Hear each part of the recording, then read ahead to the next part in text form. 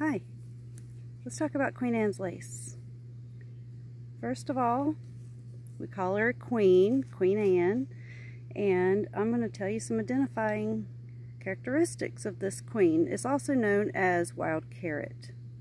So you can see the stem is hairy, right? You can see all those fuzzy hairs all over it. So the queen has hairy legs okay? That's an identifier of this plant. She also has a petticoat under her lace.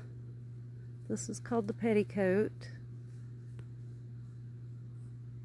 And these are good identifiers because you don't want to you don't want to confuse it with poison hemlock, which if you go by these certain very specific characteristics, you will not confuse it with hemlock because hemlock does not have hairy legs.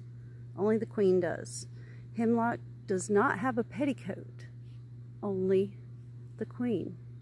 And hemlock does not have a blood-stained dot in the middle of the lace. Only the queen.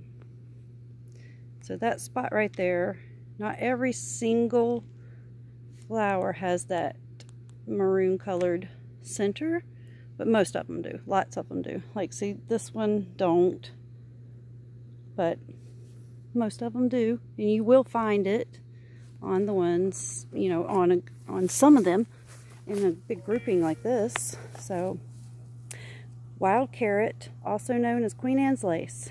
It has hairy legs, she has a petticoat under her lace. And she has a blood-stained lace because she pricked her finger while she was making her lace. You know, those are all identifiers. So compared to the poison hemlock, which has smooth stem, and it also has purple splotches. And it's like juicy. It's not so woody like that. And also, so since I'm talking about it, let me just tell you, it's great for gout or reducing uric acid. Also, anything to do with the urinary tract system from kidney stones to um, bladder health to your urinary tract system, all of it. It's really good for breaking up stones and your liver. It's good if you've got a lily liver. So, yeah. Wild carrot, also known as Queen Anne's lace.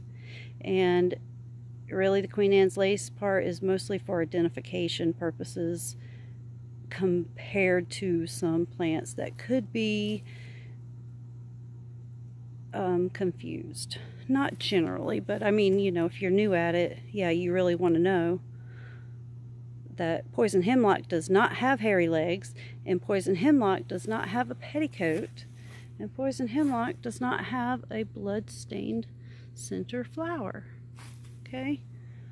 So those things you would feel comfortable in identifying wild carrot.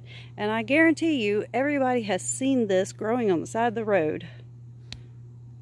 Peace.